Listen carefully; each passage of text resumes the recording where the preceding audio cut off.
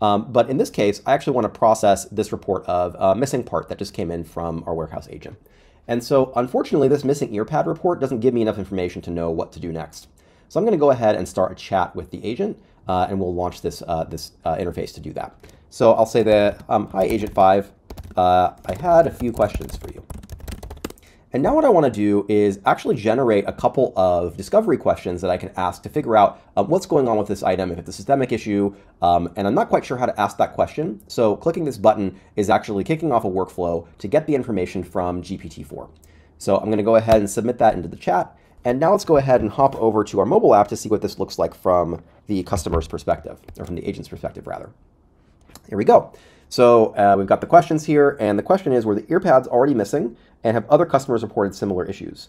Um, so we'll say customer reported uh, missing on delivery, no similar issues.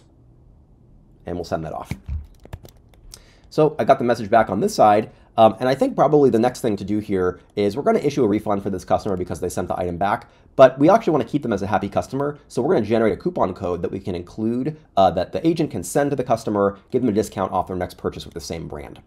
So when we are clicking on that button, uh, that button is triggering a query to a workflow.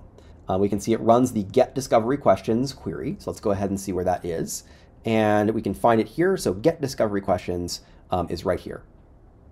And what this does is it makes a webhook request to start the query, um, and we can provide the issue and the item description, and that's going to kick off the information, and we'll get back the prompt um, for that item. So again, the way that works is we click the button, and the workflow runs, and then we get back our prompt. So if we take a look at the workflow that's powering this, this is our remediation ideas workflow. And you can see again, it kicks off with this webhook request. We get an issue and an item, and we submit those to GPT-4 with an instruction to return two beef questions to understand the root cause. So we should get our information back, and then we can submit it back to the requester. And in fact, that's what this return block is doing. This is something we didn't see in the last workflow, but this is going to take the information that we received from GPT-4 and return it to the requester uh, as a response to this initial webhook request. And that's how we're able to receive the information um, and put it into the message input. So this is really important because it takes Retool from being, uh, Retool workflows from being simply a, a trigger-based um, automation tool to actually being a full-fledged API builder. We're essentially building a REST API here using visual components where we can describe the inputs and the outputs and return information back up to the front end. So that's really, really important to realize that workflows goes way beyond just back-end process automation. When our fulfillment team received uh, the issue report of a missing earpad, they also saw that there was a category attached to this record, which is missing part. Now that category wasn't provided by the agent in the warehouse. All they did was provided this free text for missing earpad, but this was dynamically categorized, and there's actually a backend process integrated with GPT-4 under the hood to make this work. So let's take a look at that process so we can understand what it does.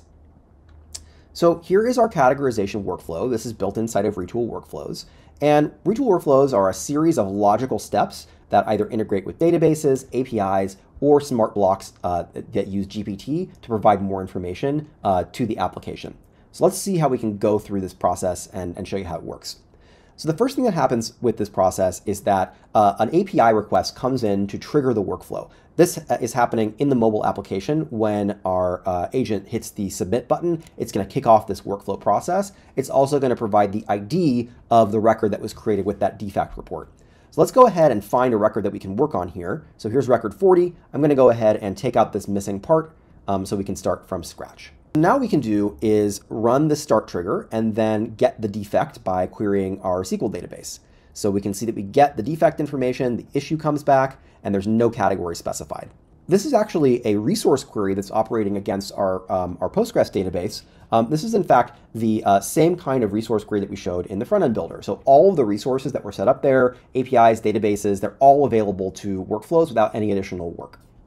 Now, once we've got this information, we can use a low code block to determine where to go next. And we can see that there is no category on the defect, so we should proceed on in the flow.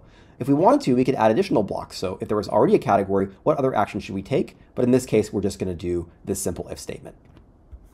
And the next step is we're going to use a smart block. This is a really sophisticated integration with OpenAI's uh, GPT-4 model under the hood that allows us to submit information about the issue along with a prompt that tells GPT-4 how to categorize these uh, issues based on a couple of uh, guiding statements. So we're describing what cosmetic damage looks like, what missing parts looks like, what no damage looks like, and what we should do if there's no information. We can return undefined.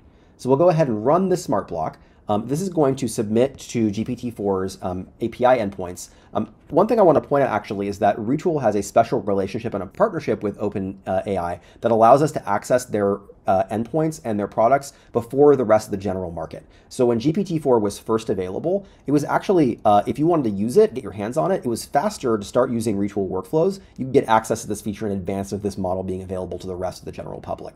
And this is really exciting. We see AI as a big part of our roadmap. So this is showing some categorization that we're doing, uh, you know, based on, on free text input. Um, but we actually see a lot of other applications for AI to um, improve uh, the time to value of Retool and, and, really speed up development. So we're going to see uh, lots of improvements to the code editing experience, doing autocomplete suggestions for SQL and JavaScript. We'll also see the ability to create sample UIs and templates based on natural language input. It's very exciting to see how this can accelerate our developers' workflows. But back to the workflow that we're working on now, we've got our missing parts category, and so we'll now submit it to our back office REST API so we can write that value into the database. We saw a successful write, and so if we hop back into um, our database, we'll see it's updated now with missing parts.